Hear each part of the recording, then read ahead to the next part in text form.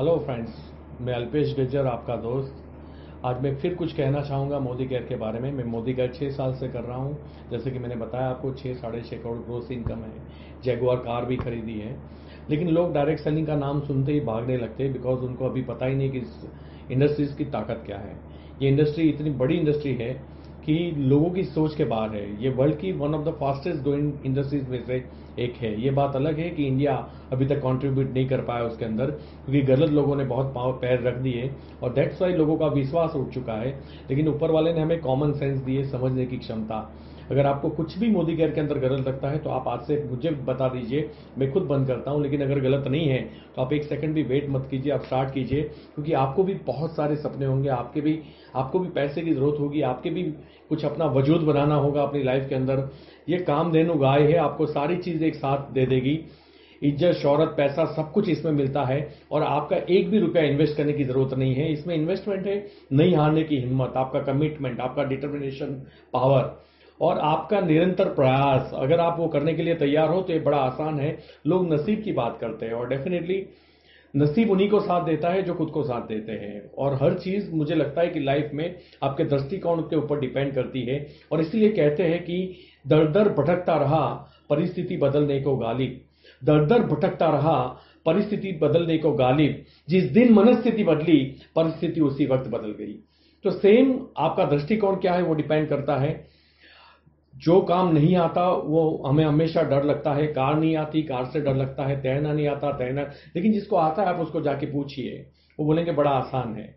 जिनको इंग्लिश बोलना आता है, आप उनको पूछिए, बोले, बड़ा आसान है। लेकिन जिनको नहीं आता, वो डर जाएँगे कि इंग्लिश, अरे बाबा सेम मोदी केयर कोई बड़ी चीज़ नहीं है। जिस दिन आना, आ जाएगा, आपको भी आसान लगेगा। और मैंने बचपन से एक चीज़ सीखी है कि कोई काम मुझे नहीं आता, ये सच हो सकता है। लेकिन मैं सीख नहीं सकता, ये नहीं हो सकता। तो ये कोई पाँच दस पच्चीस हज़ार रुपए की मैं बात नहीं कर रहा हूँ। बारह पंद्रह लाख महीने के कमा रहा हूँ, उसके लिए मैं आपको इन्वाइट कर रहा हूँ। तो we are human we are super power हमने पहाड़ों को चीर के रास्ते बनाए हैं। हमने नदियों का रुख मोड़ा हुआ है। हम चीते की तरह भाग नहीं सकते, हम कमज़ोर है पैरों से, लेकिन हमने बुलेट ट्रेन डिज़ाइन की, ये दिमाग है हमारे पास। हम ईगल की तरह उड़ नहीं सकते, तीन सौ किलोमीटर प्रति घंटा। हमने जेट प्लेन डिज़ाइन किया और जेट की स्पीड होती है तेईस हज़ार किलोमीटर प्रति घंटा। ईगल थक सकता है, जेट प्लेन नहीं थकता।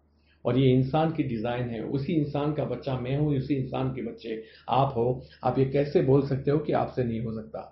यहाँ इन्वेस्टमेंट की बात होती है, आप पीछे हट जाते, समझ में आ जाता। मैं एकेडमिकली पूछता कि आप ग्रेजुएट हो, तभी आप कर सकते हो। तो आप पीछे हट जाते, समझ में आता। मैं खुद बारहवीं कक्षा चार्ट रहा हूँ, मैं ग्रेजुएट नहीं हूँ। लेकिन हाँ एटीट्यूड है मेरे अंदर। सीखने की चाहत है, अपने आप को बदलने की ताकत है। और बड़ी सोच है। इंसान की एमआरपी उसकी पढ़ाई, उसका बैकग्राउंड उसकी जात, वो मेल है फीमेल है, गाँव से, शहर से नहीं होती। इंसान की एमआरपी उसकी सोच होती है। और सोच जितनी बड़ी होगी, जीत उतनी ही बड़ी होगी, यकीन मानिए। तो आइए, मैं आपके साथ हूँ मोदी केयर के अंदर। मैं सपोर्ट करने के लिए तैयार हूँ। हम लाखों करोड़ रुपये कमाएँगे तो सही। बहुत सारे लोगों की ज़िंदगी भी बदलेंगे। क्योंकि हमारे अकाउंट में कितने पैसे हैं, उसकी वजह से लोग हमें मरने के बाद याद नहीं रखेंगे, लेकिन हमने उनकी लाइफ में क्या कंट्रीब्यूट किया, उसकी वजह से याद रखेंगे। तो आइए कुछ कंट्रीब्यूट करें हमारे देश के लिए, इस दुनिया के लिए, और डेफिनेटली खुद के लिए तो पूरी दुनिया जीती है, चलो कुछ औरों के लिए भी जीते हैं। और मैं आपके साथ हूँ उसके लिए, लोग पूरी लाइफ खत्म कर देते हैं अपनी ज़िंदगी को बिल्ड करने के लिए। यहाँ हमारे पास आज मौका है, जो मोदी केयर ने मुझे बनाया है, क्योंकि आपको मेरी जगवार दिखती होगी, मेरी इनकम दिखती होगी, मेरी प्रॉपर्टी दिखती होगी, लेकिन सबसे बड़ी बात यह है कि मोदी केयर ने मुझे एटीट्यूड दिया है। और जब भी मैं मीटिंग सेमिनार्स लेता हूँ तो मुझे यकीनन पता होता है कि वहाँ 500 लोग बैठे, हज़ार बैठे 2000 बैठे, उसमें एक की लाइफ ज़रूर बनेगी। यानी कि एक इंसान अपनी पूरी लाइफ मिला के भी खुद की लाइफ बिल्ड नहीं कर सकता। मुझे पास मौका है, मैं एवरीडे एक इंसान की लाइफ बिल्ड कर सकता हूँ। और ये एटीट्यूड मैंने मोदी कैर से कमाया है। मैं ऐसा था नहीं, मैं ऐसा बन चुका हूँ। आप ऐसे हो नहीं, लेकिन बन जाओगे। जहाँ पे आज आप हो, मेरा कल था, और जहाँ पे मैं आज हूँ, वो आपका कल हो सकता है। तो आइए मिल के मोदी केयर करें डट के मोदी केयर करें। डायरेक्ट सेलिंग के लिए पॉजिटिव हो जाइए। और जमाना बदल रहा है, अपनी सोच को बदलिए। नहीं कर सकता वो बात भूल जाना, शर्म हटा देना।